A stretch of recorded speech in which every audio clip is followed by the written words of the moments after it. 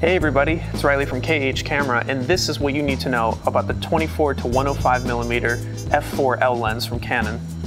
It's got a lot of great features such as a stabilizer so your shots won't be shaky in low light situations. It also covers a wide range so you can hit it for architecture work or portrait work depending on what you need. It also has one UD element and three aspherical elements, so it has superior optical performance.